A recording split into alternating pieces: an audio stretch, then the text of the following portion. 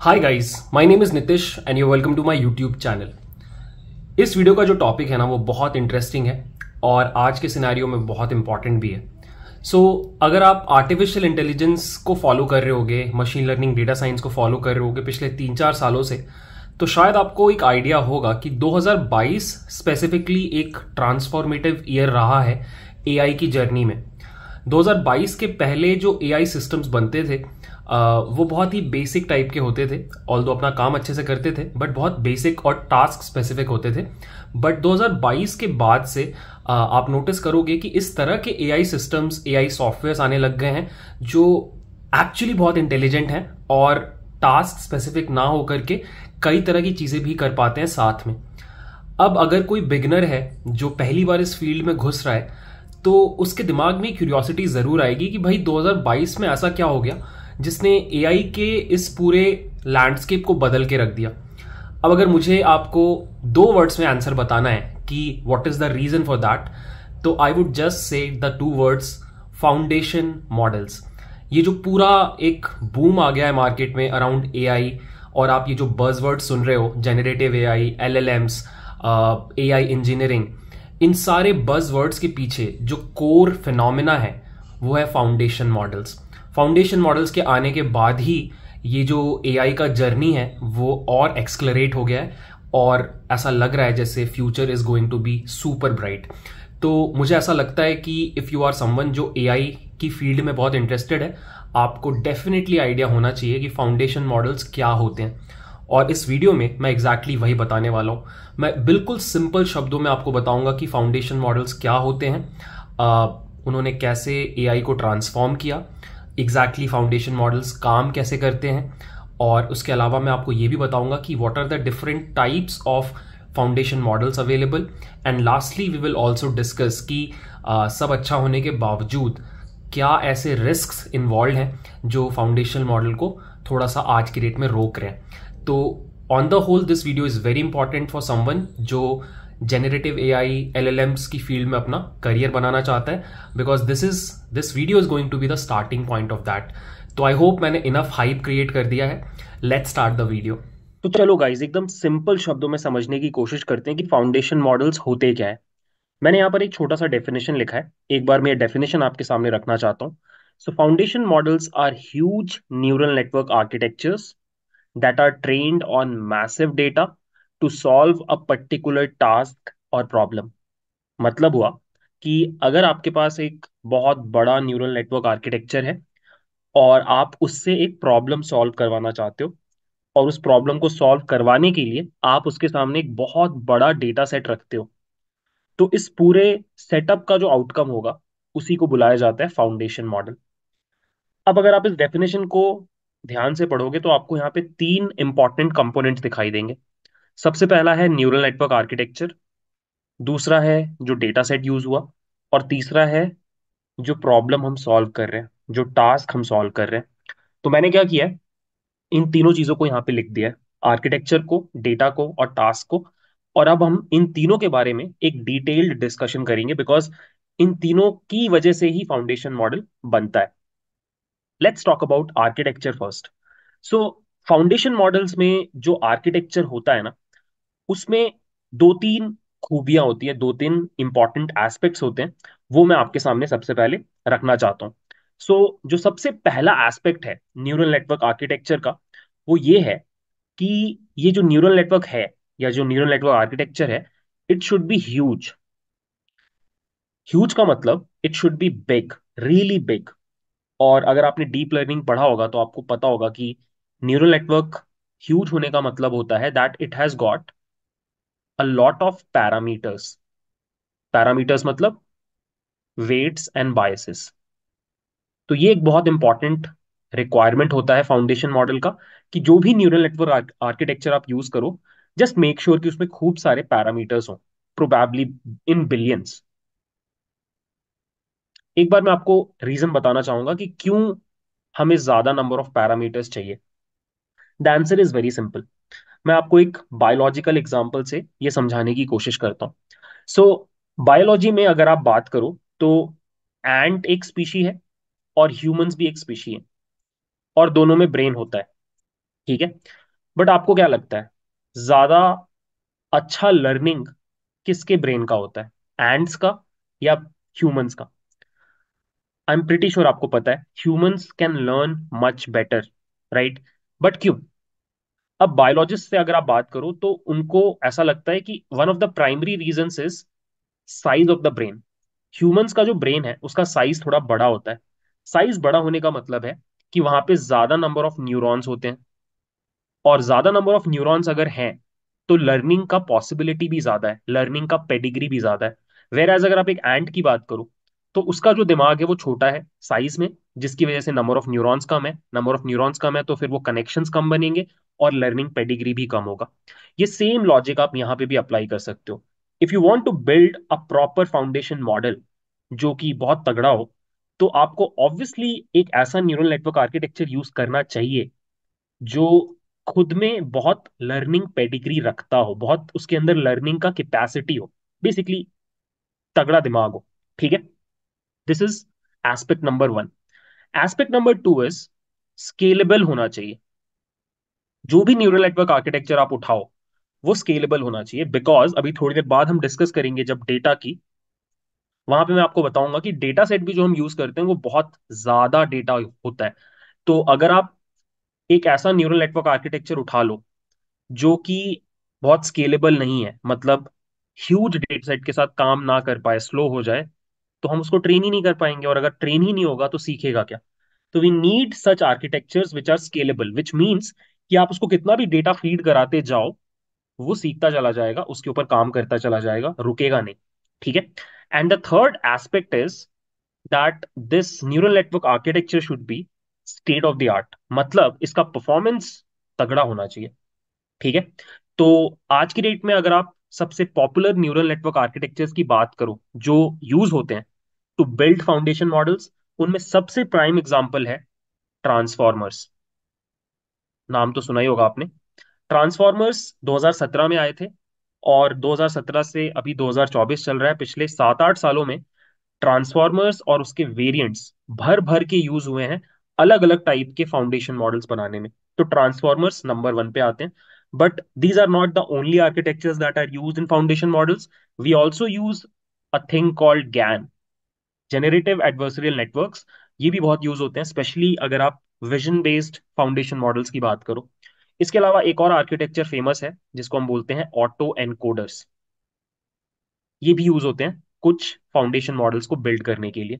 तो ये हमने किया एक detailed discussion around the architecture requirement of foundational models अब हम बात करते हैं डेटा की कि डेटा का क्या रिक्वायरमेंट होता है। सो so, डेटा के भी कुछ रिक्वायरमेंट्स होते हैं। सबसे पहला जो रिक्वायरमेंट होता है that it should be massive बहुत ज़्यादा डेटा आपको चाहिए होता है to train a foundation model probably in hundreds of GBs इस स्केल का डेटा आपको चाहिए होता है। क्यों? बहुत सिंपल सी बात है। अगर आपको बहुत नॉलेजेबल बनना है तो आपको ढेर सारी किताबें पढ़नी पड़ेंगी। तो इस पूरे पिक्चर में, इस पूरे सिनारियो में, अगर architecture is the brain then data is the books जहाँ से नॉलेज आ रहा है। राइट तो जितना ज़्यादा आप डेटा फ़ीड कराओगे, उतना ज़्यादा लर्निंग का स्कोप है। And that is why you use huge amounts of data ठीक है? This is point number one point number two is कि आपका जो डेटा है it should also be diverse diverse in the sense कि आपके डेटा में डाइवर्सिटी होना चाहिए अलग अलग टाइप की चीज़ें होनी चाहिए। और ये इसलिए इंपॉर्टेंट है बिकॉज़ अगर हमारे मॉडल ने, हमारे इस आर्किटेक्चर ने अलग अलग टाइप का डेटा देख लिया तो उसके अंदर कोई बायसेस नहीं रहेंगे राइट अभी कोई इंसान अगर पूरी ज़िंदगी गाँव में पला बढ़ा है तो उसके अंदर कुछ बायसेस होंगे कि गाँव में जैसी लाइफ होती है, उसी तरीके की लाइफ होती होगी इन जनरल बट जब वो बंदा शहर आएगा तो उसको अलग अलग चीज़ें दिखाई देंगी, उसको अलग तरह का डेटा वो एक्सपीरियंस करेगा तो उसके बायसेस डिजोल्व हो जाएँगे। हो सकता है कि गाँव में उसने देखा हो कि बंदियाँ जॉब नहीं करती हैं। बट जब वो शहर में आके देख रहा है तो उसको दिख रहा है कि हाँ भाई, बंदे भी जॉब करते हैं, बंदियाँ भी जॉब करती हैं। तो उसके दिमाग में जो बायस था कि बंदियाँ जॉब नहीं करती हैं, वो डिजोल्व हो गया। तो ये सेम प्रॉब्लम हमारे फाउंडेशन मॉडल्स के साथ भी होती है कि अगर आप उसको बहुत यूनिडायमेंशनल डेटा दिखाओगे तो वो बायसेस डेवलप कर लेता है which is not good right तो हमें उसको बहुत डाइवर्स डेटा दिखाना चाहिए, जिससे वो बायसेस डिजोल्व हो जाए। And the third important aspect is modality modality मतलब आप किस टाइप का डेटा दिखाना चाहते हो? तो ये डिपेंड करता है कि आप किस चीज़ के ऊपर फाउंडेशन मॉडल बनाना चाहते हो। आप लैंग्वेज के ऊपर बनाना चाहते हो, आप विजन के ऊपर बनाना चाहते हो। आप जिस भी डोमेन का फाउंडेशन मॉडल बनाना चाहते हो, आप उसी डोमेन का डेटा उसको प्रोवाइड करते हो। तो modality is also important in fact modality में अगर आप चाहो तो आप बहुत स्पेसिफिक डेटा के साथ भी ट्रेनिंग कर सकते हो। इसका मैं आपको एक एग्जांपल देता हूँ। आज के डेट में आप चैट जीपीटी से मेडिकल के क्वेश्चंस पूछ सकते हो राइट right, कि मुझे ये थोड़ा बड़ा सिम्टम्स आ रहे हैं। कैन यू टेल मी ये क्या बीमारी हो सकती है? तो चैट जीपीटी ने मेडिकल डॉक्यूमेंट्स भी पढ़ रखे हैं तो वो आपको आंसर कर भी देगा थोड़ा बहुत बट डू यू थिंक वो एकदम ही उस लेवल का आंसर आपको दे पाएगा जिस लेवल का आंसर कोई डॉक्टर दे पाएगा? द आंसर इज़ नो और उसका रीजन ये है कि चैट जीपीटी का जो ट्रेनिंग हुआ है, वो पूरे इंटरनेट के डेटा पे हुआ है, जिसमें हर तरह का डेटा उसने देखा है। इसीलिए उसको थोड़ा बहुत पता है कि मेडिकल के आंसर्स कैसे उसे देने हैं। बट लेट्स से आपको एक बहुत स्पेसिफिक चैट जीपीटी जैसा सॉफ्टवेयर बनाना है but for medical professionals medical field तो आप क्या करोगे? आप इस सॉफ्टवेयर को ट्रेन करते टाइम पूरे इंटरनेट का डेटा नहीं दोगे but you will give it a lot of medical books अब भले ही उसके पास चैट जीपीटी जितना नॉलेज नहीं होगा, वो चैट जीपीटी से छोटा मॉडल होगा बट उसके पास मेडिकल फ़ील्ड का बहुत तगड़ा नॉलेज होगा। तो modality of the data is also important आप क्या बनाना चाहते हो, उसके ऊपर डिपेंड करता है। आप बहुत जनरल टाइप का डेटा ला सकते हो, या फिर आप बहुत स्पेसिफिक टाइप का डेटा ला सकते हो। ये आपके पास ऑप्शन होता है। ठीक है? तो ये हो गई बात डेटा की। अब बात करते हैं टास्क की। Task is a very crucial aspect of building a foundation model ठीक है? सो क्या टास्क देना है आपको उस आर्किटेक्चर को, उस मॉडल को? वो बहुत क्रिटिकल चीज़ है। अभी तक हम मशीन लर्निंग में क्या करते थे? हम कोई भी टास्क अगर देते थे, हमारे टास्क क्या होते थे? या तो रिग्रेशन टास्क होता था, जहाँ पे हम एक नंबर प्रिडिक्ट करना चाहते हैं, या फिर हम एक क्लासिफिकेशन टास्क देते हैं, जहाँ पर हम दो क्लासेस के बीच में डिफ्रेंशिएट करने को बोलते हैं। यही टास्क हम देते हैं। फाउंडेशन मॉडल्स में आप थोड़ा अलग टाइप का टास्क प्रोवाइड करने की कोशिश करते हो। इनफैक्ट यहाँ पे आप एक ऐसा टास्क देने की कोशिश करते हो जो थोड़ा जनरल होता है, या फिर बोला जाए थोड़ा ब्रॉड होता है। अब इसका क्या मतलब हुआ? इसका ये मतलब हुआ कि हम एक ऐसा टास्क देते हैं अपने इस आर्किटेक्चर को कि जब वो इस टास्क को सॉल्व करता है तो अलोंग द वे जो उसकी लर्निंग्स होती हैं, वो ट्रांसफरेबल होती हैं। ट्रांसफरेबल होने का मतलब ये हुआ कि जब उसने सीख लिया इस टास्क को सॉल्व करना तो नॉट ओनली वो इस टास्क को अच्छे से सॉल्व कर सकता है बट उस लर्निंग की हेल्प से ये किसी दूसरे टास्क को भी अच्छे से सॉल्व कर सकता है। This is the main point अब अगर आपको ये बात समझ में नहीं आ रही तो मैं आपको दो एग्जाम्पल्स देता हूँ ऐसे टास्क के। पहला है नेक्स्ट वर्ड प्रिडिक्शन ये एक बहुत फ़ेमस टास्क है जो आप फाउंडेशन मॉडल्स को देते हो। इस टास्क में क्या होता है कि आप अपने मॉडल को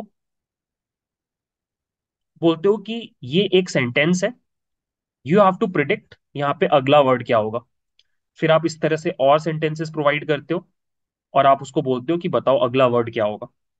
दिस इज़ द टास्क अब इस टास्क की खासियत क्या है कि इस टास्क को सॉल्व करने के लिए आपको किसी ना किसी फॉर्म में लैंग्वेज का अंडरस्टैंडिंग चाहिए होता है कि लैंग्वेज एग्जैक्टली exactly काम कैसे करता है। Right right? तो इसका मतलब ये हुआ कि अगर हमारे न्यूरल नेटवर्क आर्किटेक्चर को इस टास्क को सॉल्व करना है तो उसको समझना पड़ेगा कि लैंग्वेज का इंटरनल वर्किंग कैसे काम करता है। अब गेस वॉट अगर उसने ये सीख लिया तो नॉट ओनली वो नेक्स्ट वर्ड आसानी से प्रिडिक्ट कर सकता है but at the same time वो कुछ और टास्क भी सॉल्व कर सकता है जहाँ पे लैंग्वेज का अंडरस्टैंडिंग रिक्वायर्ड है, जैसे कि सेंटिमेंट एनालिसिस अगर मैं सेम मॉडल को एक टेक्स्ट दूँ और मैं उसको बोलूँ कि पढ़ के बताओ इसका सेंटिमेंट पॉजिटिव है या नेगेटिव है। गेस वॉट हमारा जो मॉडल है, जो ट्रेंड मॉडल है, वो इस टास्क को भी कर पाएगा। वाई बिकॉज़ उसको लैंग्वेज समझ में आ गई है। अब अगर उसको लैंग्वेज समझ में आ गई है तो वो इस टेक्स्ट को पढ़ करके ये डिकोड कर सकता है कि जो सेंटिमेंट है वो पॉजिटिव है या नेगेटिव है। आई होप आपको आइडिया लग रहा है। सेकेंड मैं आपको एक और एग्ज़ाम्पल देता हूँ। एक ऐसे टास्क का जहाँ पे लर्निंग जो होती है, वो ट्रांसफरेबल होती है। The second example is a task called image captioning image captioning में क्या होता है कि आपके पास एक इमेज होता है। मान लो हमारे पास एक इमेज है जिसमें एक कैट है और वो एक बॉल के साथ खेल रही है, ठीक है?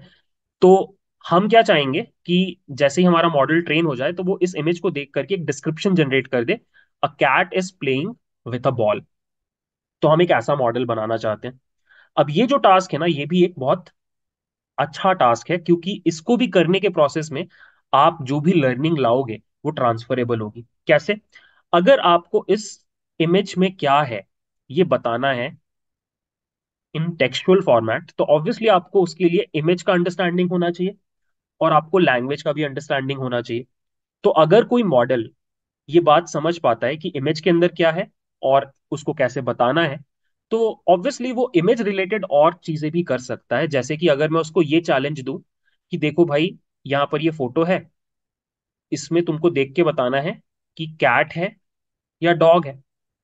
तो सिंस हमारे मॉडल ने इमेज कैप्शनिंग वाले टास्क को अच्छे से परफॉर्म कर लिया और उसको इमेज के अंदर क्या है, ये खोजना आ गया तो वो ऑब्वियसली ये इमेज क्लासिफिकेशन वाला टास्क भी आराम से कर लेगा।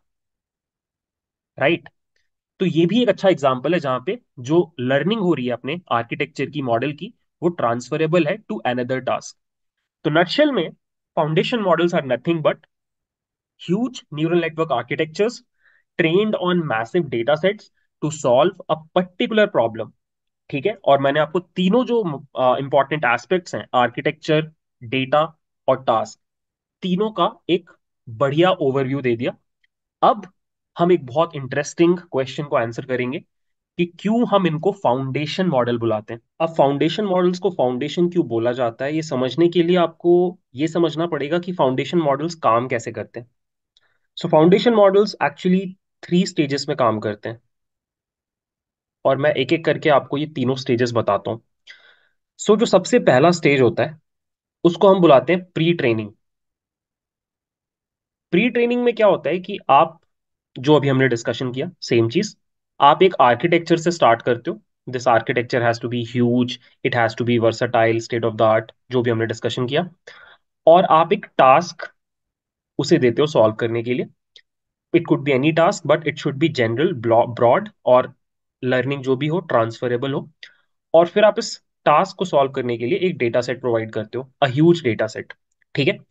और ये जो पूरा ट्रेनिंग होता है फ़र्स्ट ऑफ़ ऑल बहुत ज़्यादा टाइम लगता है, बहुत ज़्यादा कंप्यूटिंग रिसोर्सेज लगते हैं। बट ये सबसे इंपॉर्टेंट स्टेज है फाउंडेशन मॉडल का और इस स्टेज को हम बुलाते हैं प्री ट्रेनिंग इस प्री ट्रेनिंग स्टेज में ही हमारा जो फाउंडेशन मॉडल है, वो इस टास्क के बारे में काफ़ी नॉलेज गेन करता है। नॉलेज बोल लो या कॉन्सेप्ट बोल लो गेन करता है। And the best part is कि उस टास्क से रिलेटेड जो भी फंडामेंटल्स है वो सीख लेता है एंड अडेप्टेबल बन जाता है।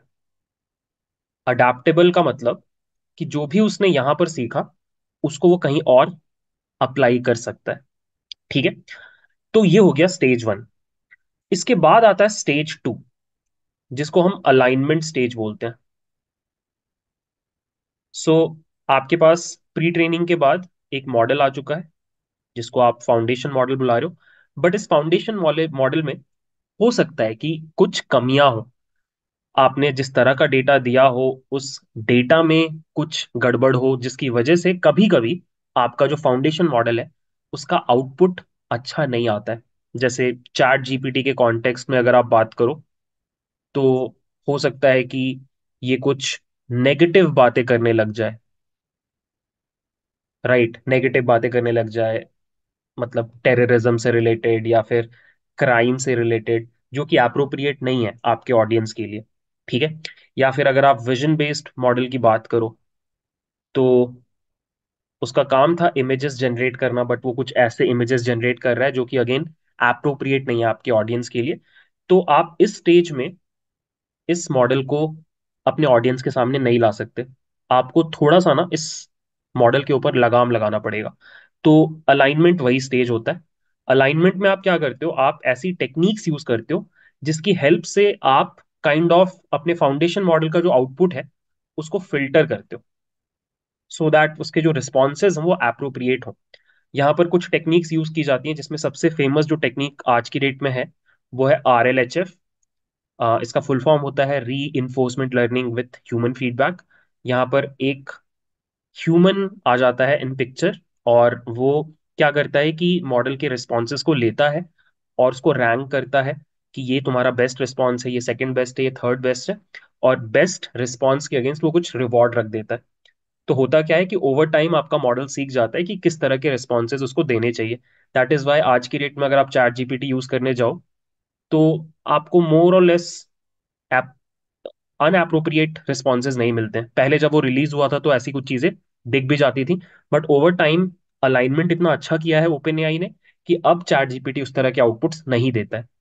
तो जो भी है प्री ट्रेनिंग हो गई, हमारा मॉडल कॉन्सेप्ट सीख गया और अलाइनमेंट हो गया तो अब हमारा मॉडल सोच समझ के बातें करता है। अब आता है फाइनल स्टेज जिसको हम बोलते हैं फाइन ट्यूनिंग फाइन ट्यूनिंग में क्या होता है कि आप अपने इस फाउंडेशन मॉडल को उठाते हो और अपने मनपसंद के किसी दूसरे टास्क में उसको आप अप्लाई करवा लेते हो। जैसे अगर आपका foundation model was a language based foundation model और उसने नेक्स्ट वर्ड प्रिडिक्शन करना सीखा था विच मीन्स उसको लैंग्वेज का अंडरस्टैंडिंग हो चुका है तो what I can do is कि फाइन ट्यूनिंग स्टेज में मैं उसको टेक्स्ट क्लासिफिकेशन का टास्क दे सकता हूँ, या फिर टेक्स्ट समराइजेशन का टास्क दे सकता हूँ, या फिर क्वेश्चन आंसरिंग का टास्क दे सकता हूँ और और भी इस तरह के बहुत सारे टास्क दे सकता हूँ जो मुझे लगता है ये मॉडल कर सकता है।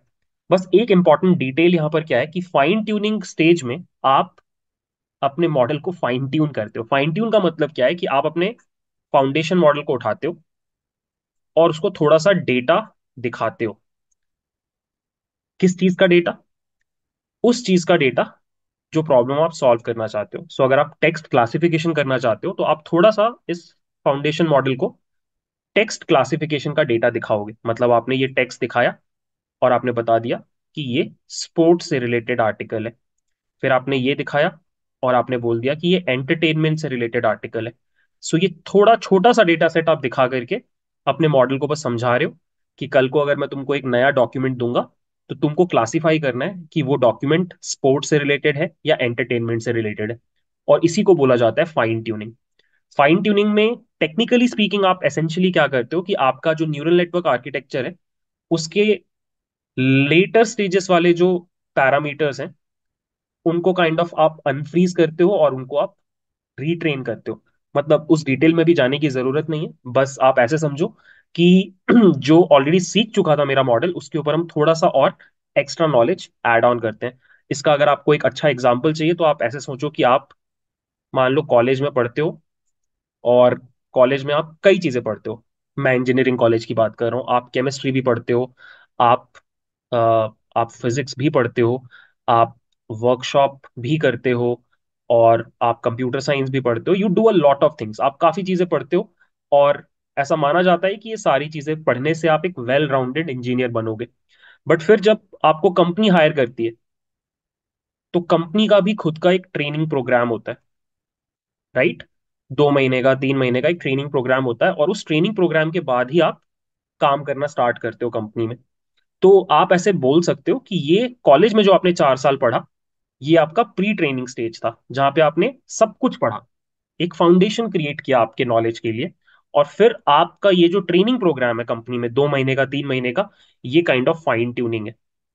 जो भी आपने अभी तक सीखा था, जो भी आपका नॉलेज है, जो भी आपका विजडम है, जो भी आपका इंटेलेक्ट है, उसके ऊपर के लेयर पे हम ये फाइन ट्यूनिंग कर रहे हैं कि देखो अब तुम ये वाली ट्रेनिंग कर लो और ये वाला काम करना शुरू कर दो। तो these are the three stages in which the foundation model work ठीक है? अब coming back to the original question why do we call it foundation I hope आपको समझ में आ गया। फाउंडेशन का मतलब होता है नींव नींव रखना। तो हो क्या रहा है यहाँ पर भी कि हम एसेंशियली फाउंडेशन मॉडल्स को यूज़ क्या यूज़ क्यों करना चाहते हैं? क्योंकि हम उनसे टेक्स्ट क्लासिफिकेशन करवा पाए, या फिर टेक्स्ट समराइजेशन करवा पाए, या फिर क्वेश्चन आंसरिंग करवा पाए। ये हमारा मेन गोल है। बट ये अचीव करने के लिए हमने क्या किया कि पहले एक बहुत बड़े डेटा सेट के ऊपर प्री ट्रेनिंग करवाई। अब ये प्री ट्रेनिंग में हम क्या चाहते थे? कि हमारा मॉडल लैंग्वेज का फुल अंडरस्टैंडिंग ले ले, ताकि कल को छोटा मोटा जो काम है टेक्स्ट क्लासिफिकेशन का, वो तो आराम से अच्छे से कर ही ले। तो इन अ वे आप कह सकते हो कि ये जो प्री ट्रेनिंग स्टेज है, ये एक फाउंडेशन की तरह काम करती है for the latter fine tuning part and that is why we call these models foundation models ठीक है? आई होप मैं समझा पाया कि हम इन्हें क्यों फाउंडेशन मॉडल्स बुलाते हैं। अब एक बार ये डिस्कस कर लेते हैं कि फाउंडेशन मॉडल सडनली से इतने इंपॉर्टेंट क्यों बन गए। सो फाउंडेशन मॉडल्स इसलिए इतने इंपॉर्टेंट हैं क्योंकि they are bringing a paradigm shift in industry paradigm shift का मतलब क्या है? कि फाउंडेशन मॉडल्स आने के पहले जिस तरीके से एआई बेस्ड सॉफ्टवेयर्स बनते थे और पैरा फाउंडेशन मॉडल्स के आने के बाद जिस तरीके से बनते हैं, उसमें काफ़ी डिफरेंस है। मैं आपको समझाता हूँ। अगर आप बात करो पहले की, जब फाउंडेशन मॉडल्स एग्जिस्ट नहीं करते थे, तब हमें अगर कोई एमएल मॉडल बनाना होता था या फिर कोई एआई बेस्ड सिस्टम बनाना होता था तो वो सिस्टम बहुत अलग तरीके से बनते थे। मैं आपको समझाता हूँ। पहले जो भी एआई सिस्टम्स बनते थे, वो बहुत टास्क स्पेसिफिक होते थे। मान लो कि आप एक डेटा साइंटिस्ट हो और आपको एक कंपनी ने बोला है, आपकी कंपनी ने बोला है कि आपको एक चैटबॉट बनाना है और इस चैटबॉट से आपके कस्टमर्स बात कर पाएँगे। क्वेरी रेजोल्यूशन होगा। तो जनरली क्या होता था कि आपके पास जितना भी डेटा होता था, आप उसको यूज़ करते थे। मतलब आप अपने कंपनी के मेल बॉक्स में जाओगे और वहाँ पे जितना भी आपको कस्टमर से रिलेटेड मेल्स मिलेंगे जहाँ पर आपका कस्टमर का क्वेरी रेजोल्यूशन हुआ है, वो सारा डेटा आप उठाओगे और आप उस डेटा को लेकर के एक मॉडल को बिल्ड करते हो। राइट? और फिर उसके बेसिस पे आपका चैटबॉट बनता है। यहाँ पर you use NLP techniques maybe you use deep learning etcetera ये सब आप करते हो। बट प्रॉब्लम क्या होती है कि सिंस हमारे पास डेटा उतना ज़्यादा नहीं होता प्लस हमारे पास मे बी उस तरीके से पैसे नहीं है to train a big deep learning model और ऐसा भी हो सकता है कि हमारी जो टीम है, उसमें बहुत तगड़े डेटा साइंटिस्ट नहीं है।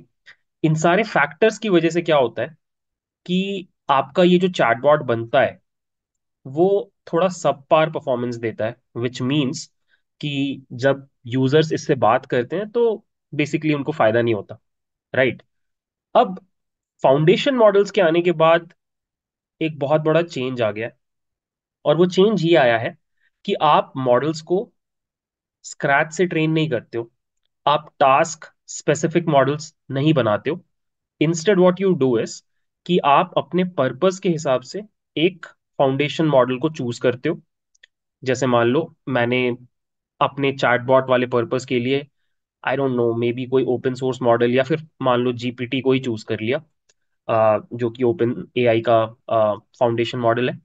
और अब मैं क्या करूँगा, मैं इस पे थोड़ा सा अपना डेटा प्रोवाइड करूँगा और इसको फाइन ट्यून कर लूँगा। राइट और अब इस फाइन ट्यूनिंग के बाद, इस मॉडल के ऊपर मैं अपना चैटबॉट बना सकता हूँ। अब इस अप्रोच में फ़ायदा क्या है कि ये वाला जो एस्पेक्ट है, ये तो ऑलरेडी बहुत स्ट्रांग है बिकॉज़ ये बनाया है बहुत बड़ी कंपनीज़ ने, बहुत बढ़िया रिसर्चर्स ने, बहुत पैसा खर्च करके ट्रेनिंग करके, और सबसे बड़ी बात, ये बहुत बड़े डेटा पे ऑलरेडी ट्रेंड है विच मीन्स कि ये मॉडल तो अच्छा परफॉर्म करेगा ही। अब इसके ऊपर आपने अपने डेटा का एक लेयर ऐड कर दिया फाइन ट्यून कर दिया। तो अब वो अच्छा मॉडल जो ऑलरेडी था, उसमें ये इंटेलिजेंस भी आ गया कि वो आपके प्रॉब्लम के हिसाब से भी रिस्पॉन्ड कर सकता है। तो इस अप्रोच में क्या फ़ायदा हो रहा है कि फ़र्स्ट ऑफ़ ऑल डेटा का जो रिक्वायरमेंट है, वो अब कम हो गया है, क्योंकि फाउंडेशनल मॉडल्स अपने आप डेटा देख चुके हैं। आपको बहुत ज़्यादा रिसोर्सेस की ज़रूरत नहीं है both in terms of money and in terms of human resource यहाँ पर ये जो पूरा चैटबॉट बना होगा मे बी पाँच दस लोगों की टीम ने बनाया होगा बट यहाँ पे सिंस आपको सिर्फ़ फाइन ट्यूनिंग करना है, हो सकता है दो लोग भी ये काम कर दें राइट ये फैक्टर भी थोड़ा निकल गया कि अगर मेरे डेटा साइंटिस्ट उतने काबिल नहीं है तो भी शायद यहाँ पे काम चल जाएगा बिकॉज़ आफ्टर ऑल उनको फाइन ट्यूनिंग करना है fine tuning any day scratch से मॉडल बनाने के कंपैरिजन में तो आसान होता है राइट right. तो इन शॉर्ट क्या हुआ है कि जैसे ही फाउंडेशन मॉडल्स आ गए हैं तो इंडस्ट्री में इनका हाई अडॉप्शन रेट हो गया है for a lot of task that can be executed this way आज भी कुछ ऐसे टास्क हैं इंडस्ट्री में जहाँ पे आप फाउंडेशन मॉडल्स को यूज़ नहीं कर सकते। मतलब वो टास्क ऑलरेडी बहुत स्पेसिफिक हैं। Right I don't know maybe ESPN Cricinfo चाहता है कि वो एक मॉडल बनाए जो पहले से प्रिडिक्ट कर पाए कि बैटिंग खत्म होने के बाद स्कोर क्या होगा। Now this is a very specific model मुझे नहीं लगता है कि कोई फाउंडेशन मॉडल एग्जिस्ट करता है जो फाइन ट्यून करके आप ये काम उससे करवा लोगे। तो this is a very specific requirement तो इसके लिए आपको ये टास्क स्पेसिफिक अप्रोच ही इस्तेमाल करना पड़ेगा। आपको स्क्रैच से ही बनाना पड़ेगा। बट अगर आपका कोई ऐसा रिक्वायरमेंट है जिसके ऊपर ऑलरेडी आपको फाउंडेशन मॉडल मिल रहा है, जो कि बहुत सारे यूज़ केसेस ऑलरेडी एग्जिस्ट करते हैं तो फिर आप rather than going this first approach you will go to this second approach and this second approach has made things easier right and उसकी वजह से अब क्या हो रहा है? कि you are able to see a high adoption rate of foundation models, of generative AI of LLMs ये सारे टर्म्स जो आपको सुनाई दे रहे हैं AI इंजीनियर ये सारी चीज़ें इसीलिए आपको दिखाई दे रही हैं because there is a paradigm shift all because of हमारा प्यारा foundation model so I really hope ये पूरे डिस्कशन से आपको थोड़ा क्लैरिटी मिल रहा है कि फाउंडेशन मॉडल्स कैसे पिक्चर में आ रहे हैं और कैसे पिक्चर को बदल दे रहे हैं। आई होप आपको इस स्टेज तक काफ़ी कुछ समझ में आ गया होगा कि फाउंडेशन मॉडल्स क्या होते हैं। And I am pretty sure आप थोड़े क्यूरियस भी होंगे कि what are some of the examples of foundation models तो इस सेक्शन में मैं आपको कुछ एग्जांपल्स बताता हूँ फाउंडेशन मॉडल्स के। अ, मैं आपको टाइप्स भी बताता हूँ फाउंडेशन मॉडल्स के सो so दैट आपको थोड़ा और पर्सपेक्टिव मिले। तो फाउंडेशन मॉडल्स को आप एक्चुअली कई कैटेगरीज में डिवाइड कर सकते हो बट मैं आपको सबसे प्रोमिनेंट आज की डेट में जो सबसे प्रोमिनेंट फाउंडेशनल मॉडल्स हैं वो बताता हूँ। सो so, जो सबसे फ़ेमस टाइप है वो है लैंग्वेज बेस्ड फाउंडेशनल मॉडल्स ऐसे फाउंडेशनल मॉडल्स जो टेक्सचुअल डेटा पे ट्रेन हुए हैं और टेक्सचुअल डेटा के ऊपर टास्क परफॉर्म कर सकते हैं। सेकंड सबसे पॉपुलर टाइप होता है विजन बेस्ड फाउंडेशनल मॉडल्स ऐसे फाउंडेशनल मॉडल्स जो इमेज बेस्ड डेटा पे ट्रेन हुए थर्ड आपका हो जाता है मल्टी मॉडल ये ऐसे फाउंडेशनल मॉडल्स हैं जो मल्टीपल मोडालिटीज में काम कर पाते हैं। जैसे कि इमेज और टेक्स्ट दोनों को साथ में समझ सकते हैं, दोनों के ऊपर काम कर सकते हैं। And lastly we have domain specific foundational models so ये वो फाउंडेशनल मॉडल्स हैं जो किसी पर्टिकुलर डोमेन के लिए डेवलप किए गए और उस डोमेन में ये बाकी सभी को बीट कर देते हैं, ठीक है? तो एक एक करके इन चारों की बात करते हैं। सो लैंग्वेज बेस्ड जो आपके फाउंडेशनल मॉडल्स हैं, वो कई तरह के काम कर पाते हैं। सबसे प्राइमरी तो उनका काम रहता है टेक्स्ट जनरेशन का बट इसके अलावा they can do classification they can do summarization they can do question answering and a lot of things इसका बहुत अच्छा एग्ज़ाम्पल है लैंग्वेज बेस्ड फाउंडेशनल मॉडल्स का। इनको बाय द वे एलएलएम्स भी बोला जाता है। बहुत ही फ़ेमस टर्म है शायद आपको पता ही होगा। Uh, इसका बहुत अच्छा एग्ज़ाम्पल है जीपीटी या फिर बर्ट ये सब फ़ेमस एग्जाम्पल्स हुए लैंग्वेज बेस्ड फाउंडेशनल मॉडल्स के या एलएलएम्स के। ठीक है? फिर आता है vision based so vision based जो आपके फाउंडेशनल मॉडल्स हैं वो भी कई तरह के काम कर सकते हैं। Obviously they can do image generation they can do visual question answering they can do image segmentation they can do object detection इस तरह के और बहुत सारे काम आप इन मॉडल से करवा सकते हो। इनका बहुत अच्छा एग्ज़ाम्पल है अ, आपका डैली जो कि ओपन एआई का फाउंडेशन मॉडल है। तो ये हो गए विजन बेस्ड मल्टी मॉडल आपका हो गया ऐसा मॉडल जो ऐसा फाउंडेशनल मॉडल जो मल्टीपल मोडालिटीज में काम कर पाता है साथ में। अ, इससे आप कई तरह के काम करा सकते हो जैसे कि आप इमेज कैप्शनिंग करा सकते हो। एक इमेज दिखा करके उसका एक डिस्क्रिप्शन जनरेट करना। आप विजुअल क्वेश्चन आंसरिंग कर सकते हो। आपने एक फ़ोटो अपलोड किया और आप उसके बारे में क्वेश्चन पूछ रहे हो कि बताओ अ, ये पीछे जो बस दिखाई दे रही है वो कौन से कलर की है? उस तरह के क्वेश्चंस ठीक है? और इसका बहुत अच्छा एग्ज़ाम्पल है CLIP which is again foundational model from OpenAI OpenAI ने काफ़ी फाउंडेशनल मॉडल्स ट्रेन किए हैं तो आपको हर जगह उनका नाम सुनने को मिलेगा। लास्टली काफ़ी इंटरेस्टिंग जो है वो है डोमेन स्पेसिफिक ऑब्वियसली ये ऐसे फाउंडेशन मॉडल्स हैं जो अ, किसी पर्टिकुलर डोमेन के लिए बनाए गए हैं rather than being general so इसका मैं आपको दो एग्जांपल्स दे सकता हूँ। So first one is Bloomberg GPT ये आपका एक ऐसा फाउंडेशन मॉडल है जो फिनेंस बेस्ड एप्लीकेशंस या फिनेंस बेस्ड ऑपरेशंस के लिए बनाया गया है और ये इस पर्टिकुलर डोमेन में बाकी सभी फाउंडेशन मॉडल्स को बीट कर देता है।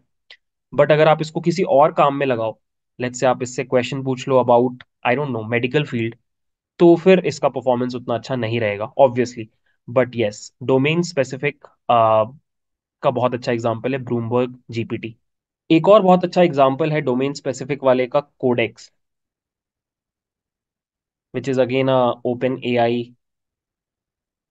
का फाउंडेशन मॉडल कोडेक्स एक स्पेशल लैंग्वेज बेस्ड मॉडल है जो बनाया गया है टू जेनरेट सॉफ्टवेयर कोड ठीक है?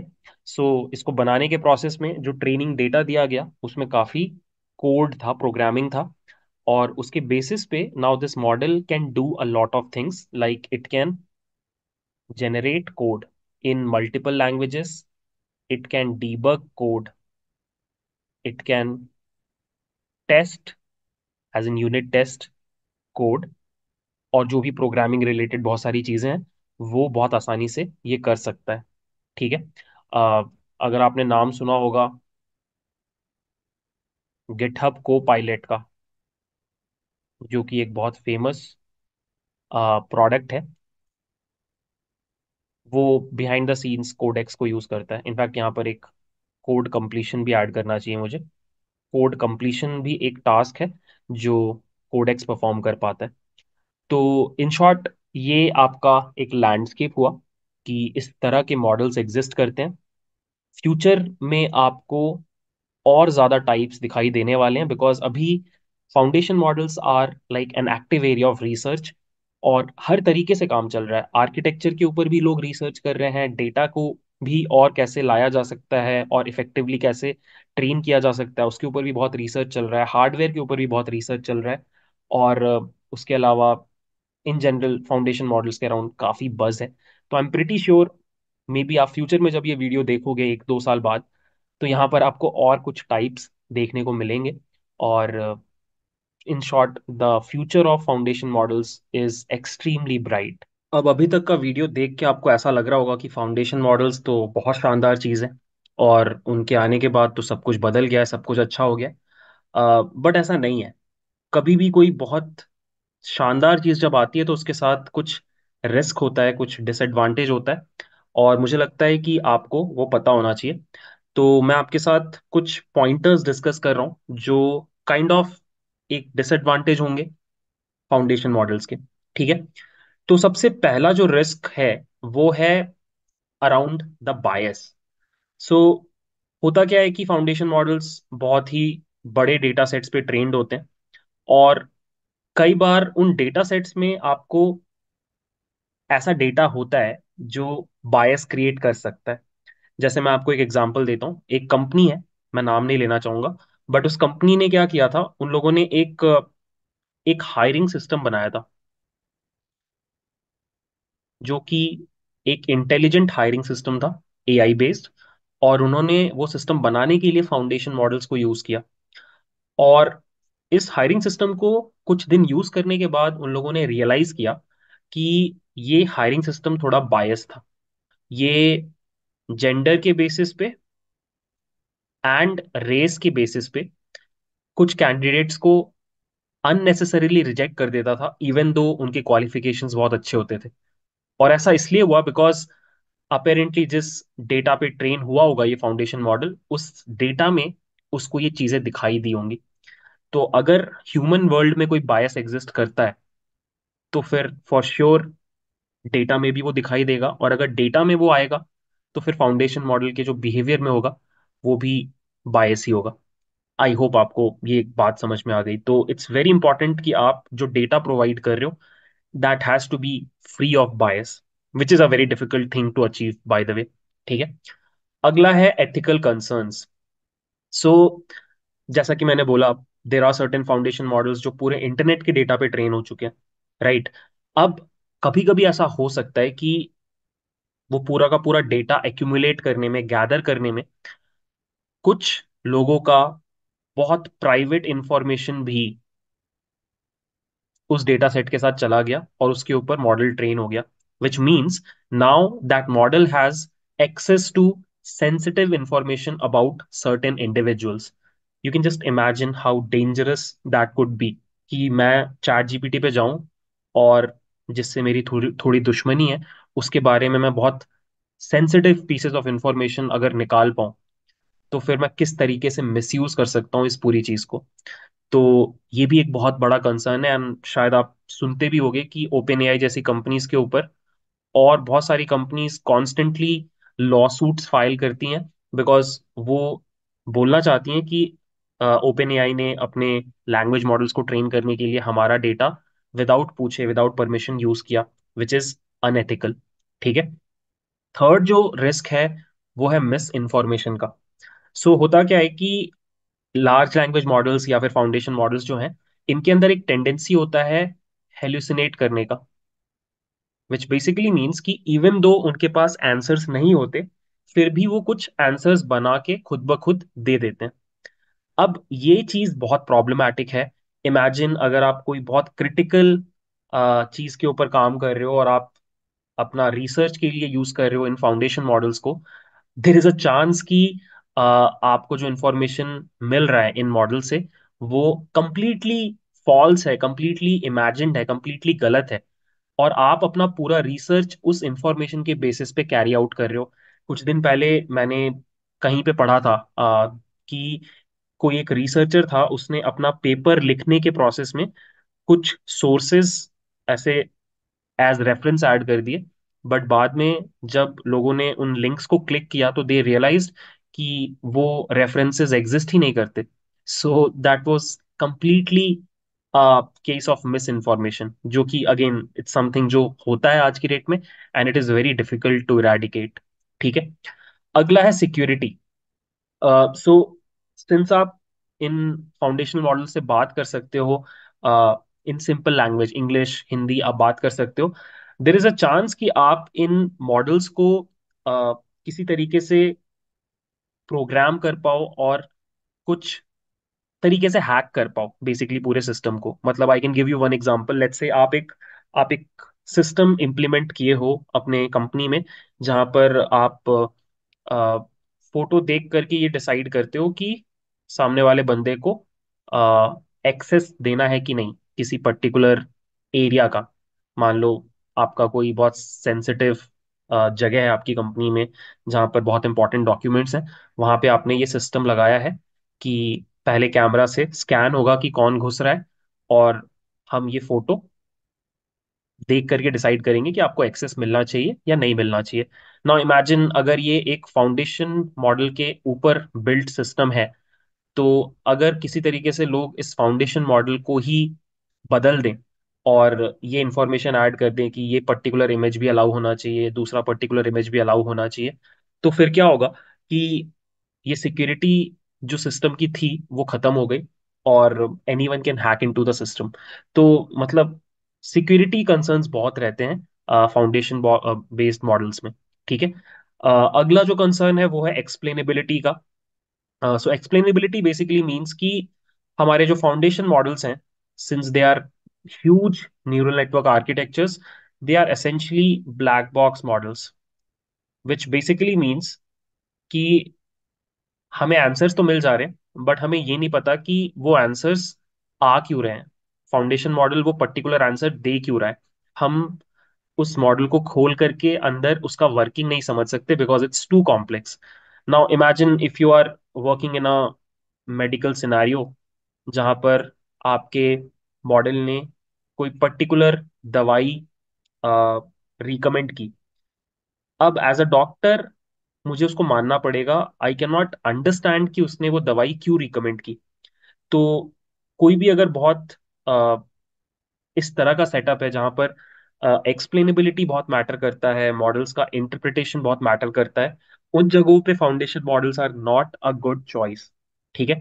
बट इसके ऊपर भी काफ़ी काम चल रहा है एंड होपफुली अगले पाँच सालों में हमें थोड़े वाइट बॉक्स मॉडल्स दिखेंगे, जहाँ पर हम ये समझ पाएँगे कि जो भी मेरा फाउंडेशन मॉडल बोल रहा है, क्यों बोल रहा है, ठीक है?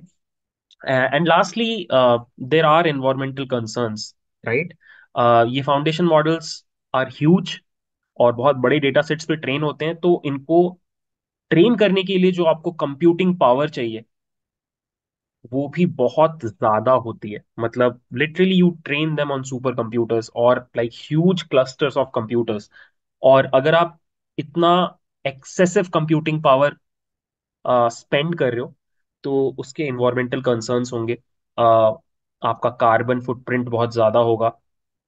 आ, तो ये सारी चीज़ें भी अच्छी नहीं है because we are already living in a world जहाँ पर आ, हमारे जो रिसोर्सेज हैं नेचुरल रिसोर्सेज हैं, वो डिप्लीट हो रहे हैं और उसके ऊपर अगर हम इस तरह का कुछ करने लग जाएँ तो there is a huge risk involve तो इसके बारे में भी आजकल काफ़ी बात हो रही है और कोशिश की जा रही है कि किसी तरीके से कार्बन फुटप्रिंट को कम किया जाए वाइल ट्रेनिंग दीज मॉडल्स ठीक है?